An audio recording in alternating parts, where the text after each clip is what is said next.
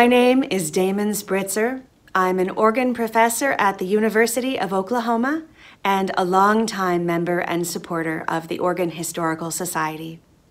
I had the pleasure of serving on the steering committee to plan this digital festival, Kaleidoscope of Colors, so thank you so much for joining us. We are so excited at how this all came together. We're going to hear performances from Josh Stafford, Oliver Brett, and Lawrence Major playing some really stunning instruments and repertoire.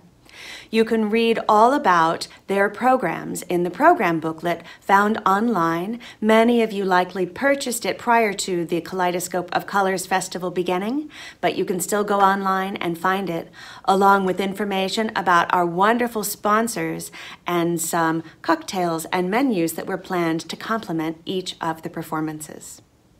Thank you again to all of our sponsors for this event.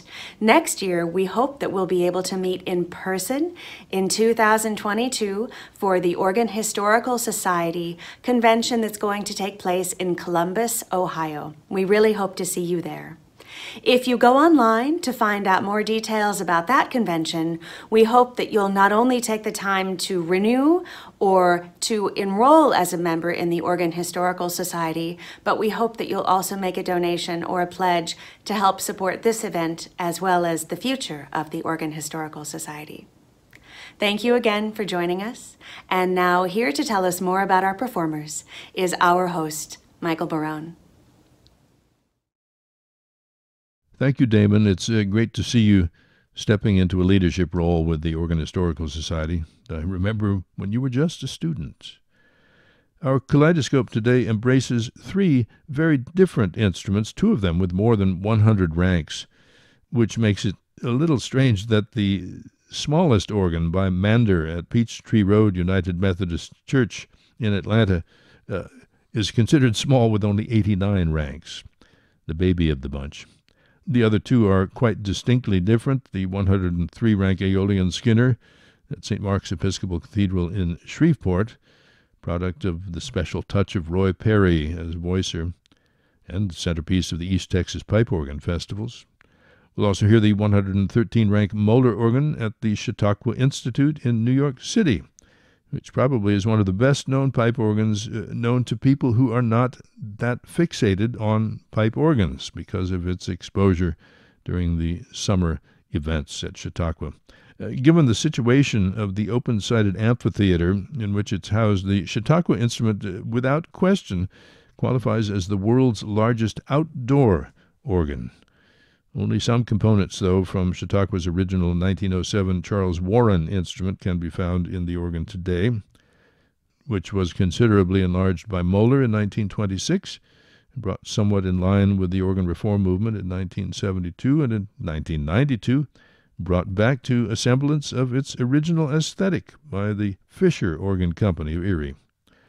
As James Keeley writes in the detailed notes for our Kaleidoscope program book, which, uh, if you haven't ordered, you should, uh, online at organhistoricalsociety.org, the Chautauqua organ bears the mark of a late 19th century organ, a symphonic instrument from the Roaring Twenties, a mid century organ reform movement, and finally, a return to the ideals of its original conception. Since coming to our attention as a first prize winner of the Longwood International Competition in 2016, Joshua Stafford, student of Alan Morrison and uh, Thomas Murray at the Curtis Institute and Yale University, respectively, Josh was named Director of Sacred Music at the Chautauqua Institution in 2020.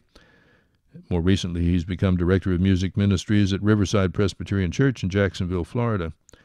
He's served as assistant to his late predecessor at Chautauqua, Jared Jacobson, and certainly knows this instrument well and shows it off with great variety in hymn based works for us by Peter Lutkin and Sigfrid Karg-Elert. And then we'll have three preludes transcribed by George Gershwin and the luscious Largo by Handel, which is always a Chautauqua favorite.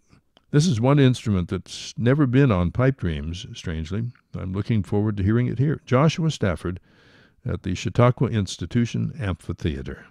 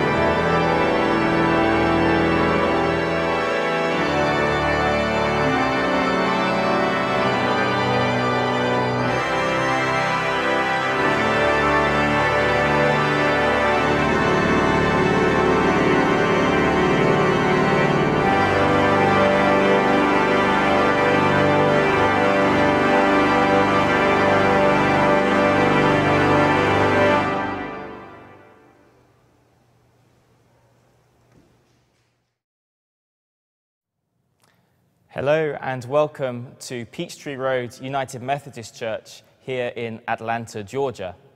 And I'm delighted to be playing for you our wonderful organs in the sanctuary here. Both of them built by the English builder John Mander. You can see behind me our chancel organ.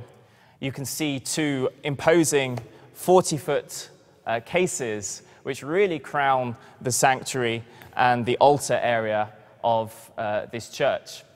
On the left hand side, uh, the north case is housed the great, swell, and choir divisions, and on the right hand side, the south side, the pedal division, as well as the solo division up top, which includes a tuba, as well as uh, bombard stops 16, 8, and 4. We are also very fortunate to have a gallery organ, the opposite end of the church, also built by John Mander in 2008.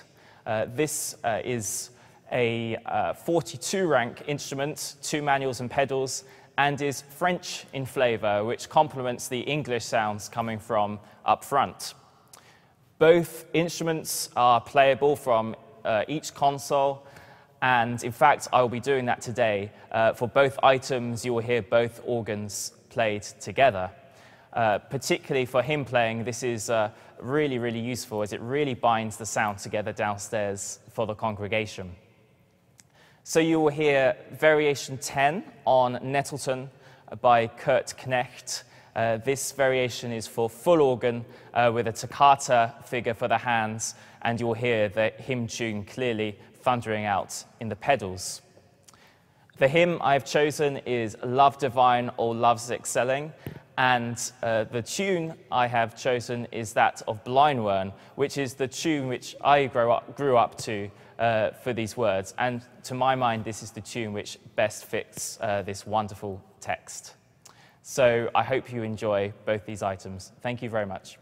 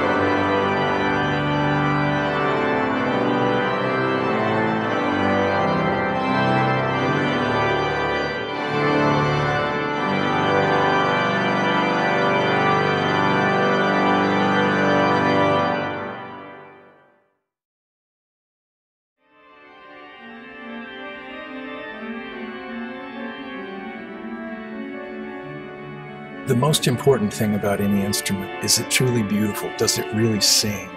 Does it inspire? Does it take you someplace else? And that's what I've always wanted out of an organ, and that's what I'm so pleased that we can get out of an organ. Move us to someplace that we haven't been perhaps ever before and may not ever get again.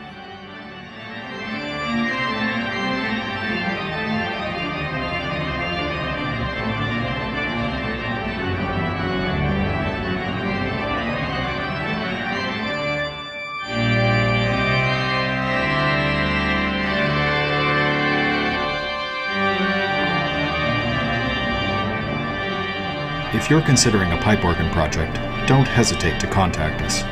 We'd love to talk with you about the instrument you have in mind, to contribute our knowledge to your discussions, and to work collaboratively with you towards realizing an exceptional musical instrument.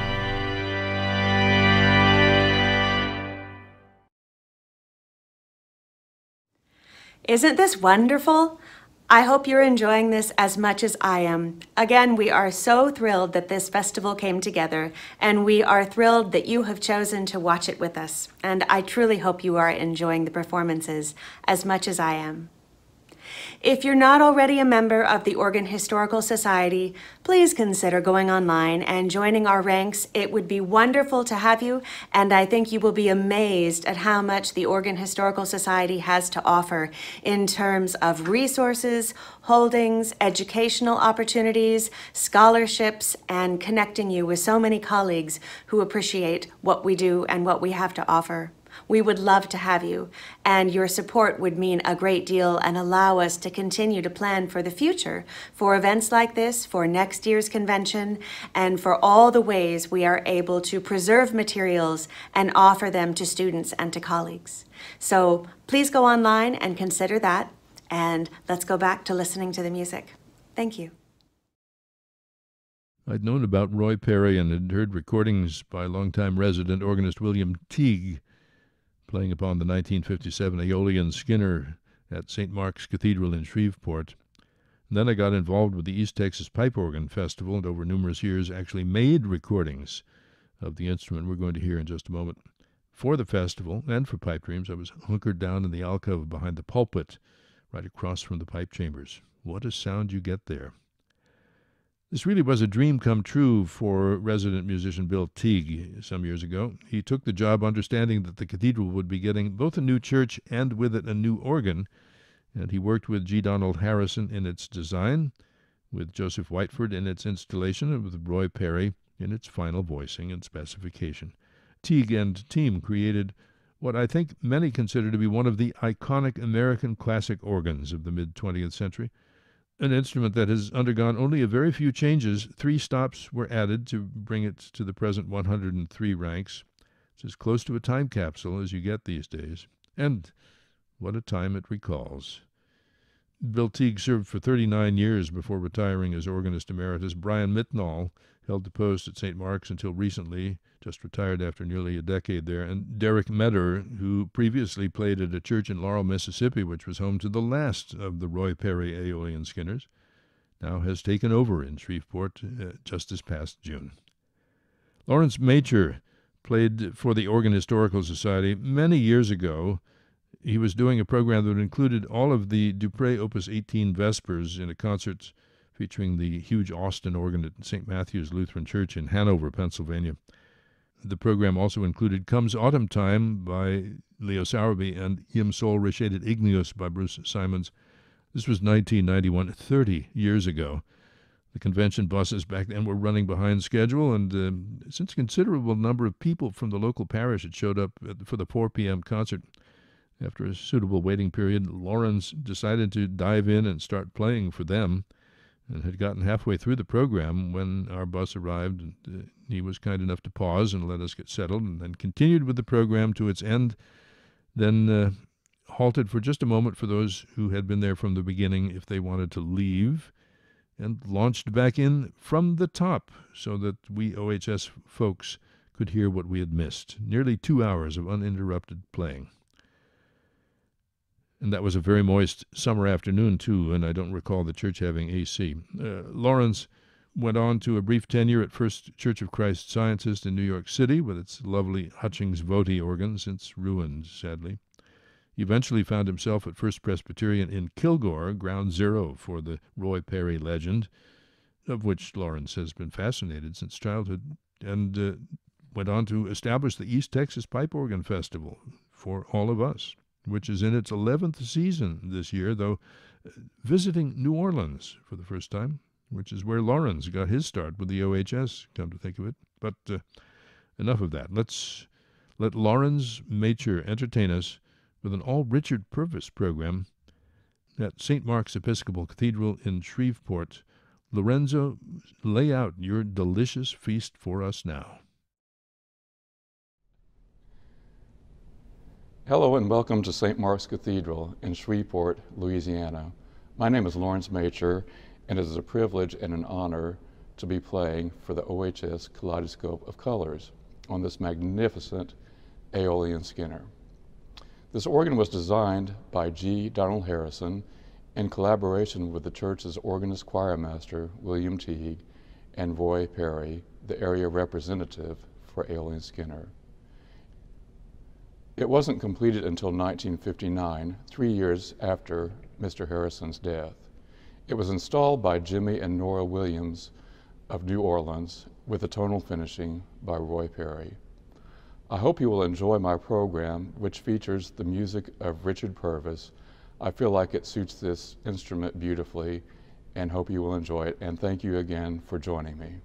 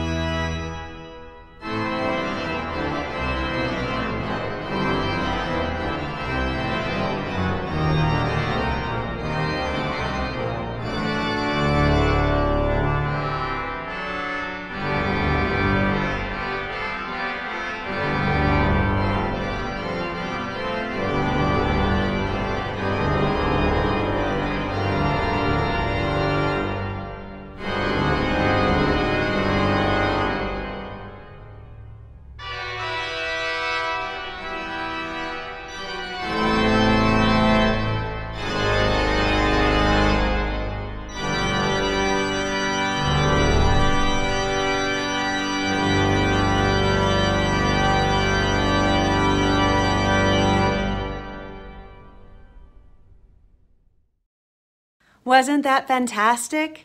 Thank you for joining us, and thank you to the performers and the organ builders who made this hour of music possible.